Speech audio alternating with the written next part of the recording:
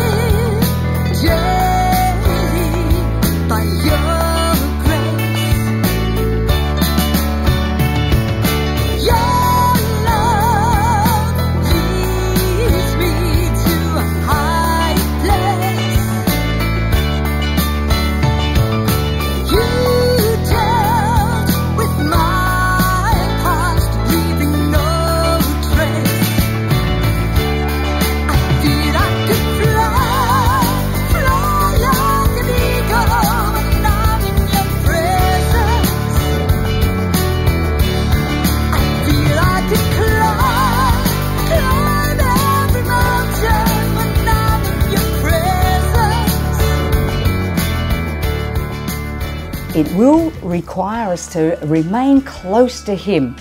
It's a time to wash away the disappointments from the years of delay and not carry them into the new season. Hope deferred makes the heart sick. And we must throw these things off so that we can move forward with great expectation. Walk into the new season with confidence that God is on the move. It's time to turn off the external voices that fill you with fear. It's time to stay close to the one who loves you. Stay close to his word.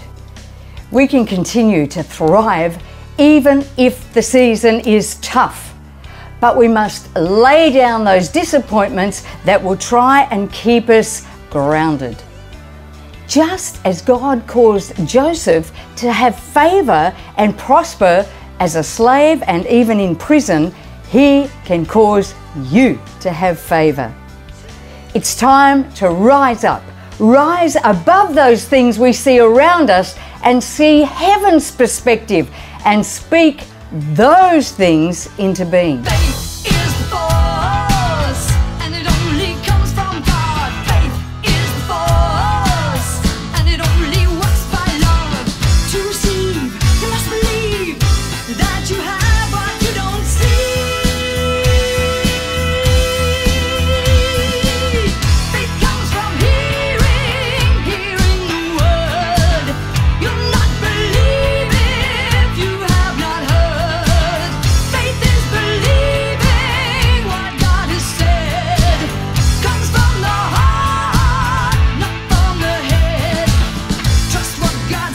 He's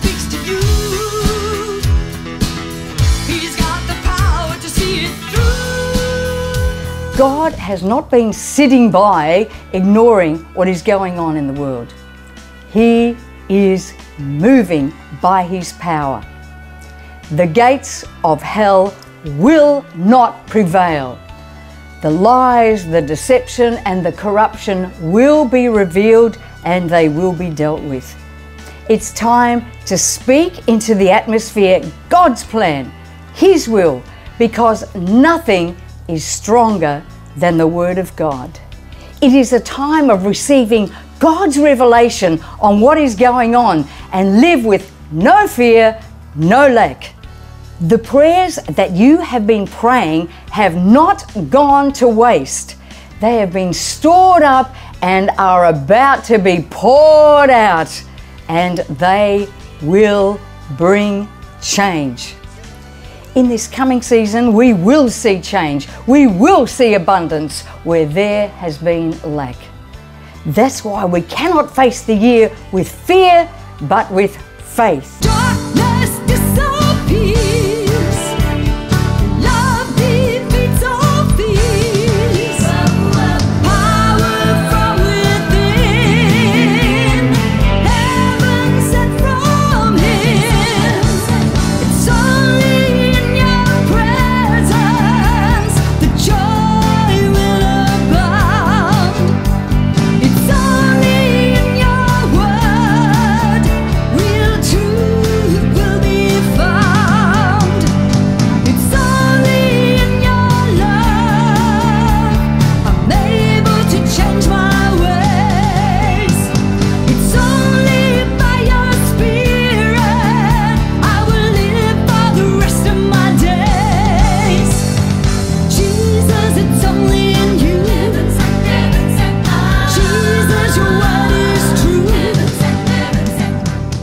Look to what God is doing.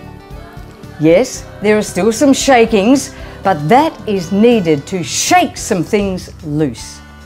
There is more going on than we can see and know and understand with the natural eye.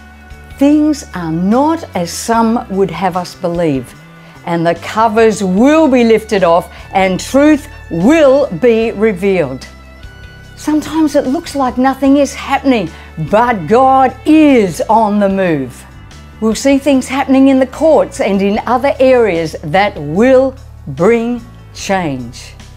This is a time for us to realize the importance of our words to declare God's truth for this coming season. Proverbs 18:21 says, "Death and life are in the power of the tongue, and those who love it will eat its fruit." Proverbs 13:3 says, "The one who guards his mouth preserves his life." It's time to position yourself to receive and to conceive new things. It's a year of choices, a year of change, a year of charging forward, a time to step forward where you have stepped away because of discouragement. Walk in with eyes wide open as to what the enemy has been up to and what is behind it. No more deception. It is a year to walk together and see advancement in God's kingdom.